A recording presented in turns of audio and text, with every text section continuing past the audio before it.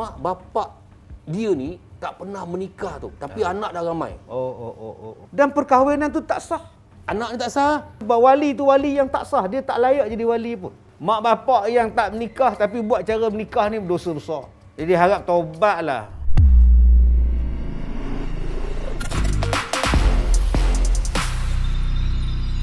Bismillahirrahmanirrahim. Assalamualaikum warahmatullahi taala wabarakatuh dan salam sejahtera bagi mereka yang bukan Islam yang menonton sembang viral setiap malam 7.30 malam di TV9 dan saya bersama dengan yang berbahagia Datuk Ustaz Kazim Ilyas. Dalam Islam tu ada nikah tu eh. Ya. Yang daripada haram menjadi halal sesuatu yang dihalalkan oleh Allah pula. Benda tu asalnya haram. Tapi dihalalkan atas nama Allah. Itu nama dia akad nikah. Perkahwinan yang diizinkan oleh Allah. Daripada haram jadi halal. Maka dia penuh dengan tanggungjawab. Dia penuh dengan hukum. Dia penuh dengan perkara-perkara yang perlu dan kita wajib ambil tahu. Di antara benda yang kita wajib ambil tahu ialah siapa jodoh kita. Siapa pasangan kita.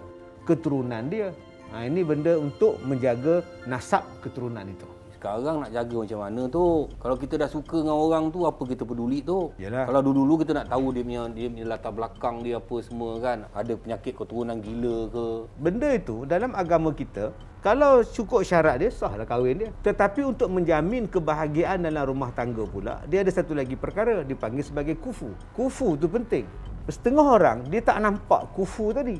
Sedangkan kufu tu yang nak menjaminkan rumah tangga kita tadi harmoni ataupun tidak. Setengah orang dia tak kisah tentang kufu. Kufu ni melibatkan keturunan, kufu ni juga melibatkan pendidikan, kufu ni juga mendapat uh, melibatkan pendapatan supaya rumah tangga tadi jadi baik.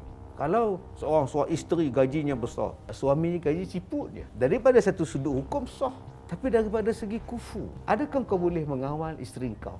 Adakah seorang isteri boleh taat kepada suami dia? Eh, gaji pun cukup makan je pun cukup banyak. Jadi perkataan itu akan datangkan sampai bila-bila.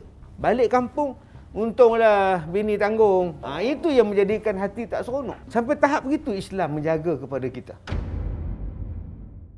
Ada satu hamba Allah ni tu, hmm. dia budak ni nak kahwin. Bila dia pergi pejabat agama, baru dia dapat tahu yang mak bapak dia ni tak pernah menikah tu. Tapi ya. anak dah ramai.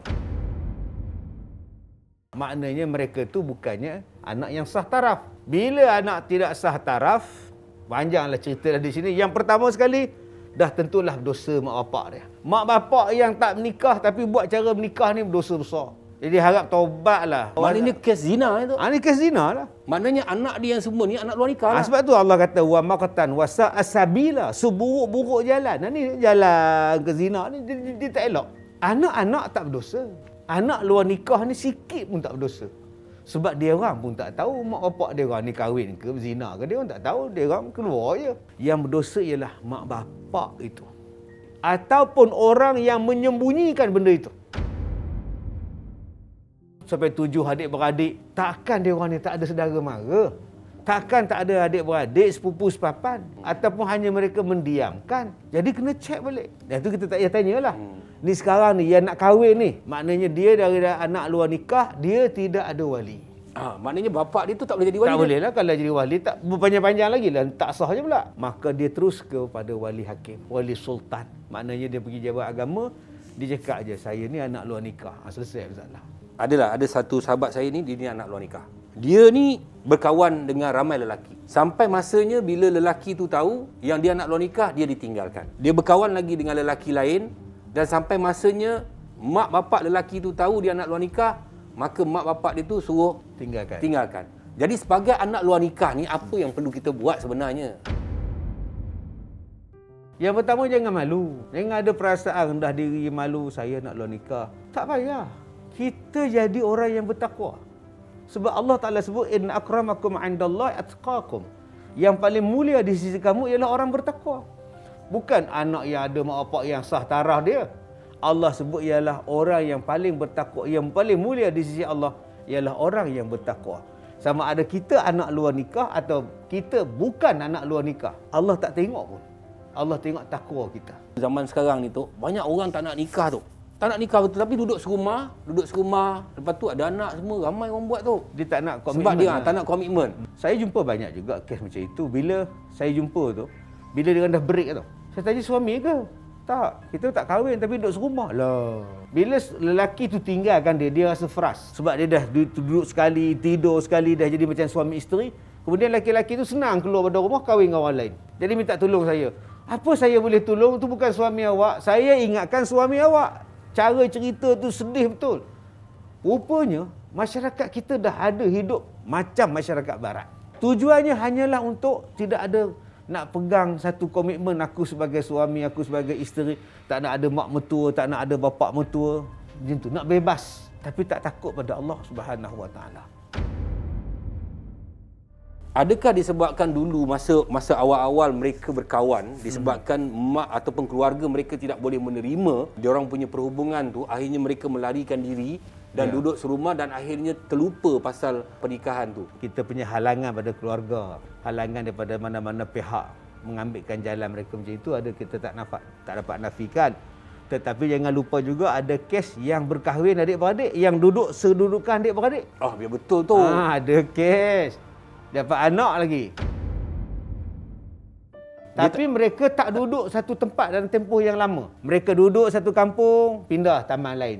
Kampung ni dia tahu pindah taman lain sebab adik-beradiknya mencari. Ha sebab tu kadang-kadang mereka tahu adik-beradik. Ya, dia tahu, dia tahu banyak, dia ada kes macam tu. Banyak kes macam tu. Ada kes yang saya jumpa anak tiri dengan bapa tiri. Bila mak mak mak isteri dia meninggal, dia duduk dengan anak tiri dia. Dia bela anak tiri dia. Dia jadikan macam isteri dia pula.